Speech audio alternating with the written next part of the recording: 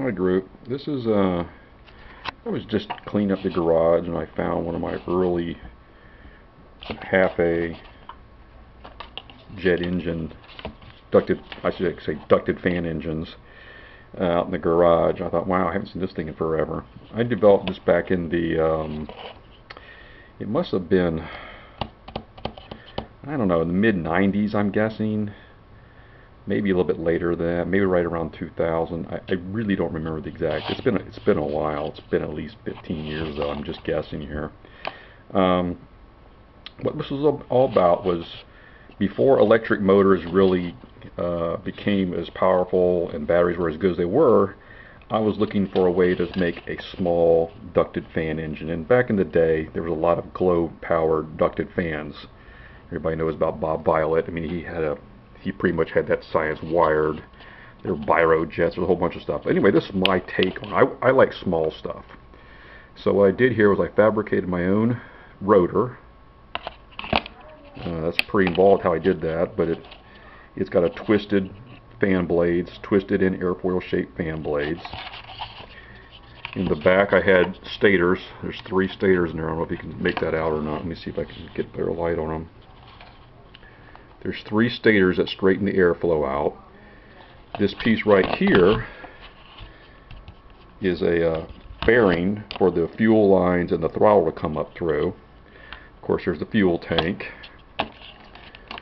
This rubber band, oh my god. Anyway, you, you pull this thing off right here, get access to the cylinder head of the, uh, that was a Norvel, I think that was a Norvel 061. You get a better idea of how that got it fared for the airflow around it.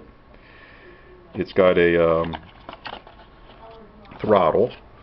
It was throttleable. I actually took this to I, one of the Toledo shows, I think, just to kind of show it off a little bit. Here's your adjustment for the, uh, the for the for the airflow mixture, and uh, this actually worked pretty well. I mean, it's not any it it didn't really I didn't have a good application for it. It was just me fooling around. The uh, it's plywood formed. It's got uh, formers to keep that. I think that was 1 64th inch ply.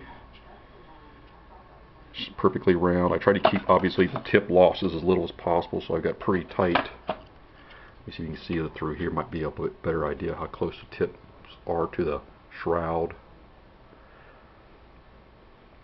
It had a uh, it had a little spinner on the front and I would engage that hex head with a um, electric driver through a uh, there you can see the stators and everything a little bit better.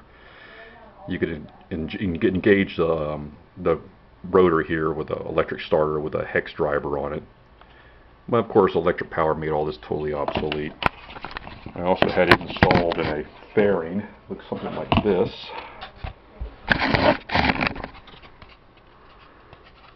This was all formed out of blue styrofoam and uh, it's got little hard points there that mount up with those holes there with some screws to hold it all in. slap it together here real quick, see if I can get to go back together. Feed the, uh, hang on with me for a second.